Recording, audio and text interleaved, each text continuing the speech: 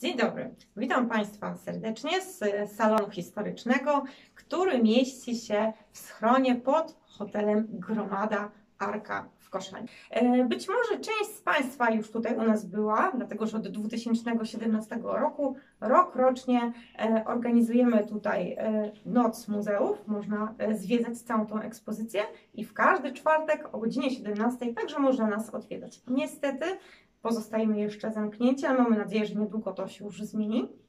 Dlatego postanowiliśmy razem z kolegami i koleżankami, że zaprosimy Państwa do naszego salonu, żeby tym, którzy jeszcze u nas nie byli, pokazać, a tym, którzy już nas odwiedzili, w pewien sposób przypomnieć, co można tutaj zobaczyć.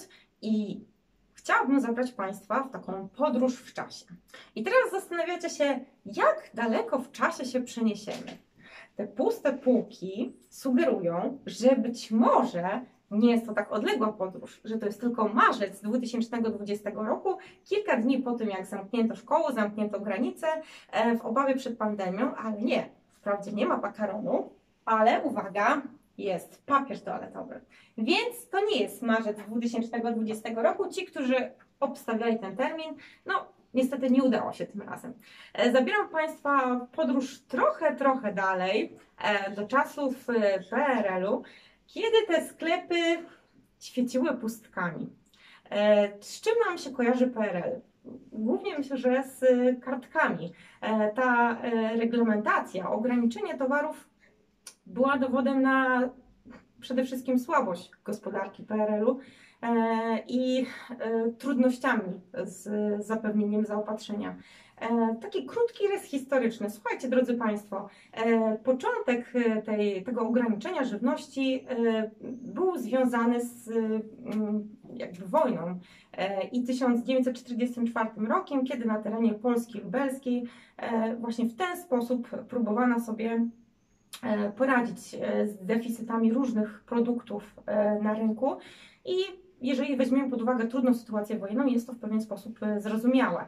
E, Ten e, sposób radzenia sobie z trudnościami w gospodarstwie na terenie całego kraju obowiązywał od 1945 do 1949 roku. Jako ciekawostkę powiem, że Polska była jednym z pierwszych krajów na świecie obok Szwajcarii i ZSRR, które w 1949 roku tą właśnie reglamentację e, stosowaną poprzez kartki na żywność, na różne produkty e, zakończyły. Nie było to spowodowane, jak się domyślacie, tym, że właśnie jakimś cudem tak nam tutaj się świetnie poprawiło, tylko raczej było to spowodowane mm, sprawami politycznymi, politycznymi uwarunkowaniami i jak przypomnicie sobie, kiedy powstała Polska Zjednoczona Partia Robotnicza i to, że to właśnie był 49 rok, to właściwie wszystko jest jasne.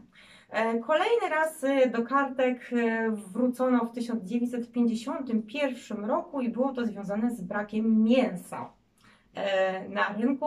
Zresztą to bardzo symptomatyczne, że z tym mięsem w naszym kraju zawsze był problem i właśnie mięso pozostało tym towarem, który był najdłużej trudny do- pozyskania, deficytowy i ostatnie kartki, jakie były w naszym kraju e, i utrzymały się aż do 1 sierpnia 1989 roku, to były właśnie kartki na mięso. E, I ten kolejny okres, 51, e, 53, niby w założeniu miał potrwać tylko kilka miesięcy, ale jak sami widzicie, trwał aż dwa lata, kiedy stosowano e, ograniczenia. Zaczęło się, tak jak powiedziałam, od mięsa, a potem przyszło czas na inne rzeczy i nawet cukierki kupowano na kartki. Teraz pewnie część z naszych widzów e, jest młoda równie, tak jak ja i ma 18 lat albo jeszcze mniej, dlatego powiem e, w takiej mm, słowie wyjaśnienia, że kartki nie zastępowały pieniędzy. Tak? To nie było tak, że kartkami się płaciło. Kartki tylko upoważniały do zakupu danych towarów, a pieniądze trzeba było mieć i tak.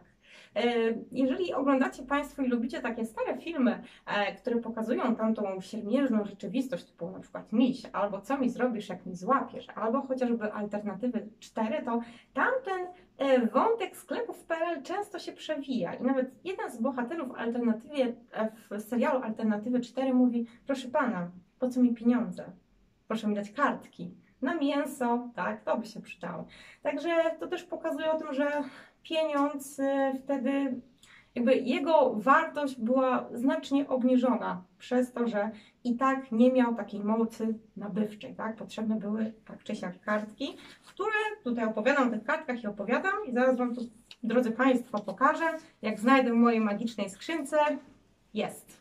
Proszę bardzo. Na przykład taka kartka. Tak mniej wyglądała, mniej więcej wyglądała, tak? E, czy wszystkie tak wyglądały? Nie. Wyobraźcie sobie, że kolejnym takim etapem, kiedy wprowadzono kartki, był rok 76, kiedy e, w ten sposób próbowano sobie poradzić z brakiem cukru na rynku i bardzo broniono się przed tym, żeby użyć sformułowania kartki, żeby to się jakoś tak źle nie kojarzyło, więc wprowadzono bony towarowe, które wyglądały i były tak zabezpieczone jak pieniądze. Tak było na początku, później to oczywiście się zmieniło.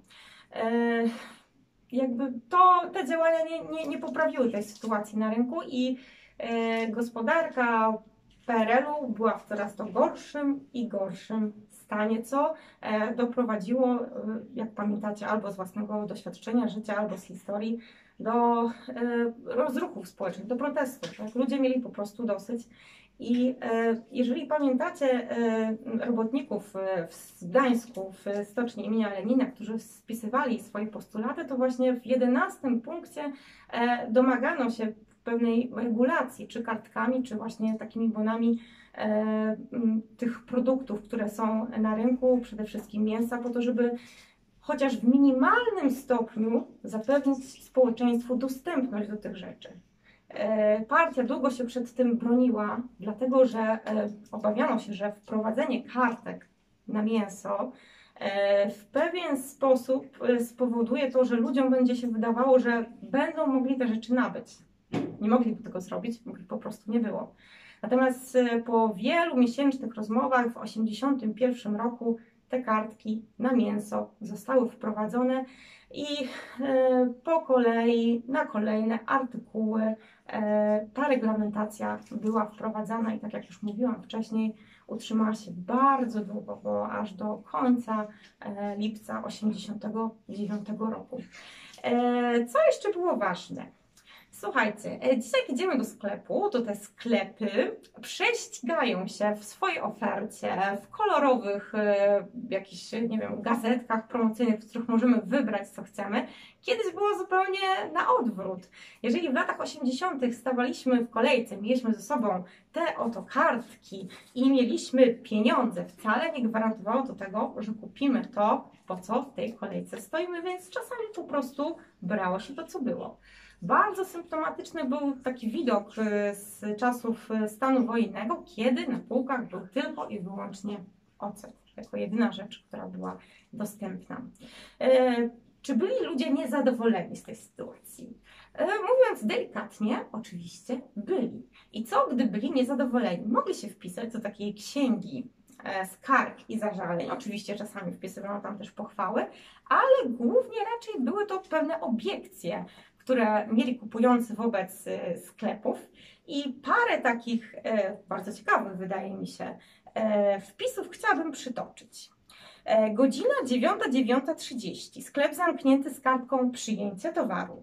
Zajrzałam od tyłu na zaplecze. Cała obsługa jadła razem śniadanie. Powtarza się to codziennie. I odpowiedź ekspedientki czy kierowniczki sklepu, bo musicie Państwo wiedzieć, że miało to jednak pewne swoje znaczenie. Jeżeli tych um, uwag negatywnych oczywiście było dużo, e, takiemu sklepowi groziła nagana, obcięcie premii, a pracownikom, którzy byli często wymieniani w niekorzystnym świetle w takiej księdze, nawet dyscyplinarne przeniesienie na inne stanowisko. W ten sposób e, władza próbowała e, dać ludziom taką szansę, by poczuli, że ma jakiś wpływ na to, co dzieje się w kraju, ale jak się domyślacie, było to iluzoryczne.